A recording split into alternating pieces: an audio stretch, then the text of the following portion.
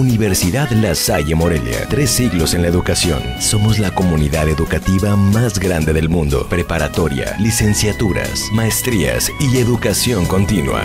La Salle, profesionales con valor. En Michoacán hay avances importantes en materia de reducción de los factores de riesgo vinculados con la violencia y la delincuencia, afirmó el subsecretario de Prevención y Participación Ciudadana de la Secretaría de Gobernación al inaugurar en Trincheras de Morelos de Morelia la Feria de Atención Ciudadana. Claramente los índices de violencia, sobre todo en los delitos que eh, más han lastimado a la gente de Michoacán en la última etapa, han, han comenzado a ceder han comenzado a bajar.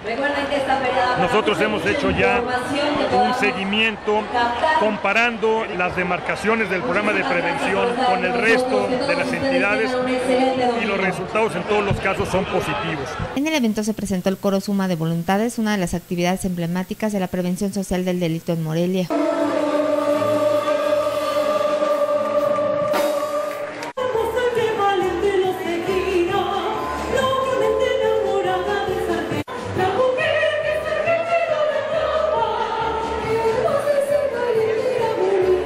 El alcalde de Morelia, Wilfrido Lázaro Medina, resaltó la coordinación de los diversos órdenes de gobierno. El gobierno federal, el gobierno del estado de Michoacán, el gobierno municipal a ras de suelo, con la gente, donde debe de estar, y por eso hay que agradecerlo.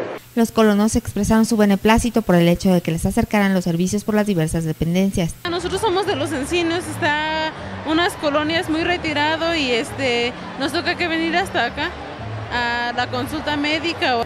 Está bien porque en veces uno hace la desidia de andar buscando por allá lo que ocupa, por decir ahorita consultorio. En esta actividad participaron 19 dependencias del gobierno federal, 4 estatales y 10 municipales. Para Cuasar TV, Fátima Miranda.